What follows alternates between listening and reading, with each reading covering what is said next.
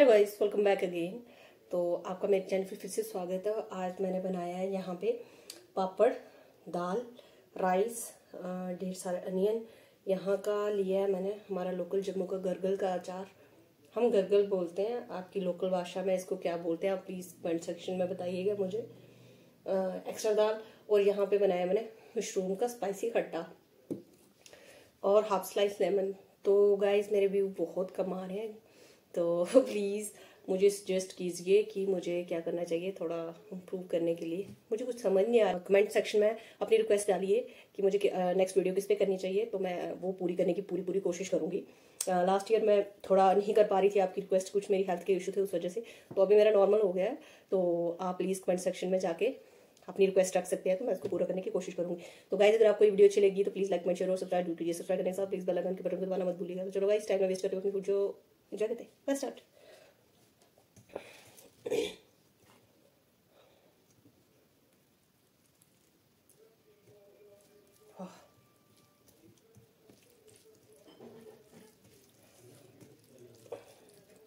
तो guys first bite जो है इस मुकन की आप सबको लेट्स एंजॉय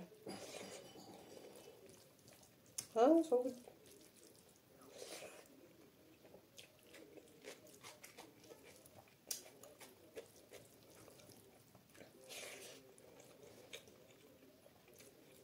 ये अचार मेरी मम्मी ने डाला था और मेरी बेटी को ये अचार बहुत पसंद है तो वो वहाँ पर नारियल से लेके आएगी।